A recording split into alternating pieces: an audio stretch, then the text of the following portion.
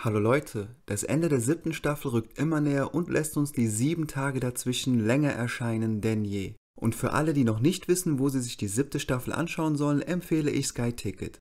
Denn für unter 2 Euro könnt ihr mit Sky Ticket seit dem 17. Juli die brandneue siebte Staffel von Game of Thrones inklusive dem großen Staffelfinale am 28. August genießen und es ist monatlich kündbar. Für alle Zocker gibt es Sky Ticket auch auf dem Smart TVs, Mobilgeräten und Konsolen. Klickt einfach in der Videobeschreibung auf den Link, um zum Angebot zu kommen. Dort findet ihr auch alle weiteren Informationen dazu. Kommen wir nun zum heutigen Thema. Die fünfte Episode der siebten Staffel löst gleich zu Beginn das Geheimnis um Jamies und Brons Verbleiben, indem wir sehen, wie sie an einer anderen Stelle des Flusses wieder auftauchen. Bronn stellt Jamie zu Recht zur Frage und macht nochmal klar, dass, solange Bronn nicht bezahlt wurde, höchstens er Jamie töten dürfte, die Freundschaft bei Drachen aufhört und Jamie wird bewusst, dass kein Mensch gegen gleich drei Drachen auch nur den Hauch einer Chance hat. Tyrion zeigt uns die zur Asche verbrannte Erde, die Daenerys mit Drogon hinterlassen hat und wir sehen die überlebenden Männer, die von den Dothrakis gesammelt und zu ihr geführt werden.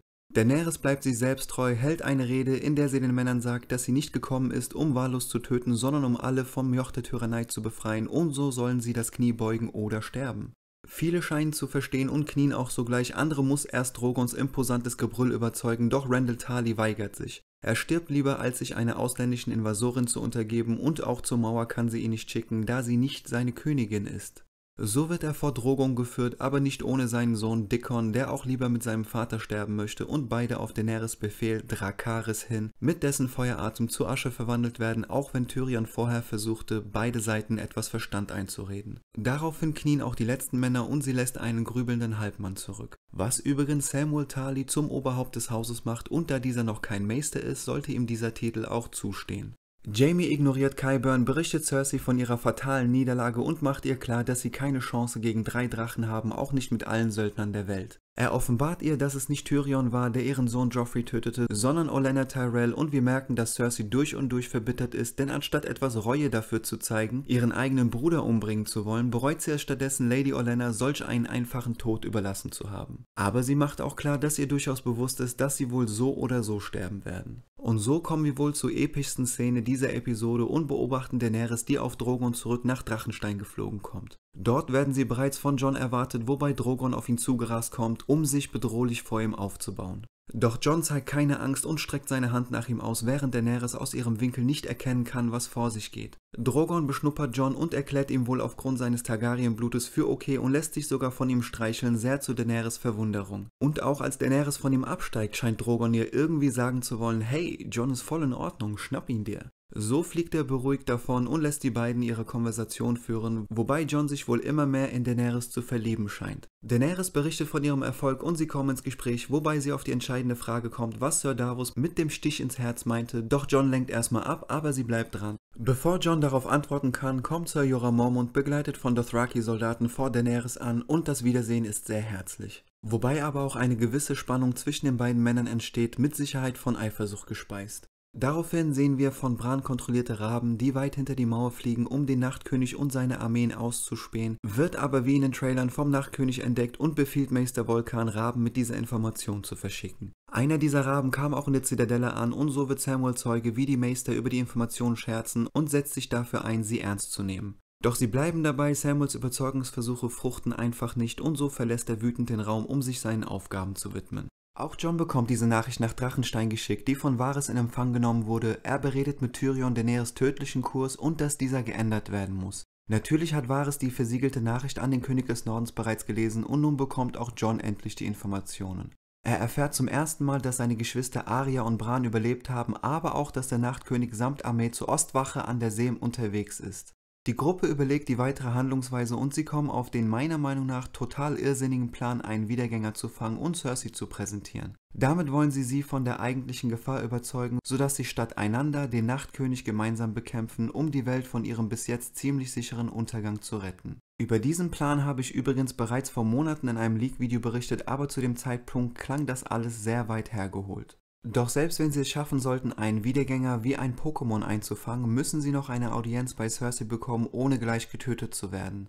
Sie gehen davon aus, dass Cersei auf Jamie hören wird und dieser auf Tyrion, so soll der Zwiebelritter ihn nach Königsmund schmuggeln. Jorah Mormont meldet sich freiwillig, um seiner geliebten Khaleesi zu dienen und wir bemerken erneute eifersüchtige Blicke zwischen Jon und Jorah. Jorah alleine würde aber nicht die unerlässliche Unterstützung der Wildlinge so weit hinter der Mauer bekommen, also meldet sich auch der König des Nordens zu dieser Selbstmordmission.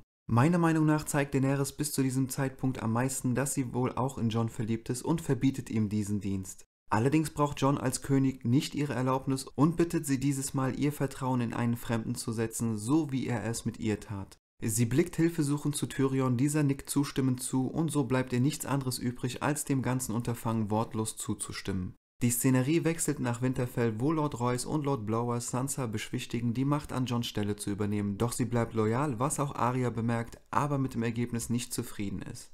Arya begleitet Sansa in ihr Zimmer, was vorher ihren Eltern war, und stellt sie letztendlich zur Rede. John wurde beleidigt und in Arias Augen haben sie es dafür verdient, den Kopf zu verlieren, was uns zeigt, wie eiskalt Aria geworden ist. Sansa zeigt ihre politischen Stärken und macht klar, dass sie Verbündete brauchen und keine Feinde. Doch Arya lässt nicht locker und behauptet, dass Sansa sich in Johns Abwesenheit bereichern will und eines Tages mit ihren Verbündeten die Macht gänzlich übernehmen möchte. Sansa scheint ernsthaft gekränkt zu sein und um ehrlich zu sein, kann ich nicht abschätzen, ob Arya sie nur testet, um zu sehen, inwieweit sie um den Kleinfinger gewickelt wurde, oder ob sie das Ganze ernst meint.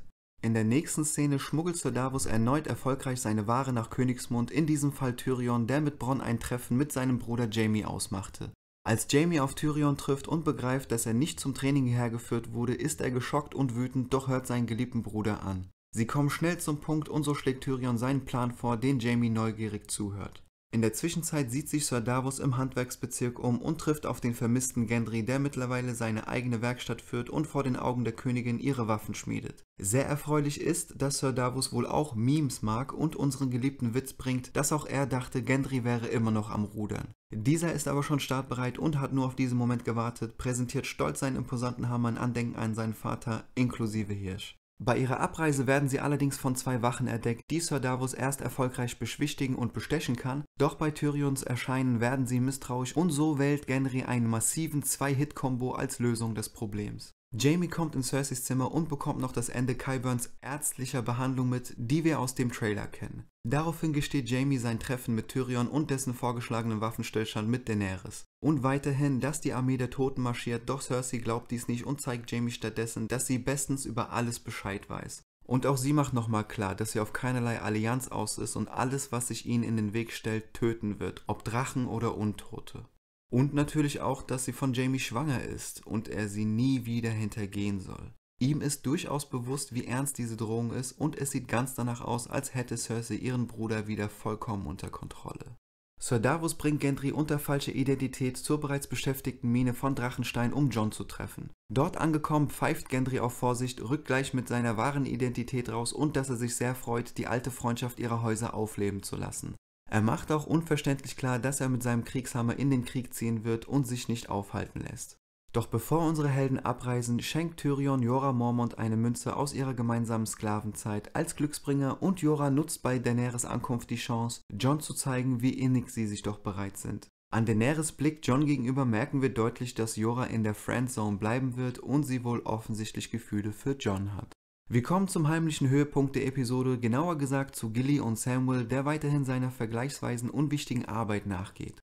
Gilly entdeckt das Buch des Septon Miner, der über alles mögliche Aufzeichnungen machte, die meisten unwichtig, darunter aber auch eine überaus wichtige. Und zwar die von ihm selbst ausgeführte Annullierung der Ehe zwischen Prinz Rhaegar Targaryen und seiner rechtmäßigen Frau, womit Elia Martell gemeint ist, und gleichzeitig in einer heimlichen Zeremonie in Dorne neu verheiratete. Es wird zwar nicht gesagt, mit wem er zwar heimlich, aber dennoch offiziell verheiratet wurde, aber selbstverständlich gehen wir alle davon aus, dass es sich um Lyanna Stark handeln muss, womit Jon Schnee ganz offiziell John Targaryen heißen würde und als der Sohn Rhaegars, Daenerys großen Bruder, den Thronanspruch vor ihr besitzt. Doch Sam unterbricht Gilly, bevor sie weiterlesen kann und ihm wird klar, dass er bis jetzt seine Zeit mit unwichtigen Aufzeichnungen verschwendet, während die Lösung zur Rettung der Menschheit in einem dieser Bücher versteckt sein könnte. So schleicht er sich wieder heimlich in den verbotenen Bereich, klaut alle Bücher, die ihm wichtig vorkommen, verschwindet mit seiner kleinen Familie und allem, was er braucht in der Nacht. Denn er hat satt das zu tun, was sein eigener Vater ihm stets vorwarf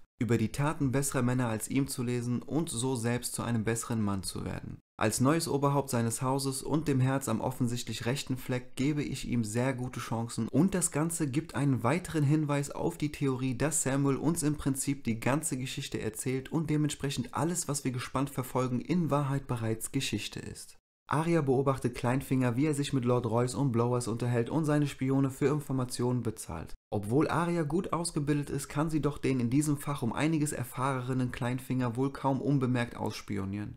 Dabei übergibt Meister Volkan Kleinfinger einen Brief. Dabei handelt es sich um den Brief, den Sansa damals auf Drängen Cerseis an ihren Bruder Rob schrieb, in der Hoffnung Frieden zu halten und ihre Familie zu schützen. Die Idee dazu kam natürlich von niemand geringerem als Kleinfinger. So ist es nun klar, dass dieser die beiden Schwestern gegeneinander ausspielen will, aber mir ist leider nicht klar, ob Arya den Köder tatsächlich schluckt oder einfach mal das Spielchen mitspielt, um ihn in Sicherheit zu wiegen und seinen weiteren Plan abzuwarten.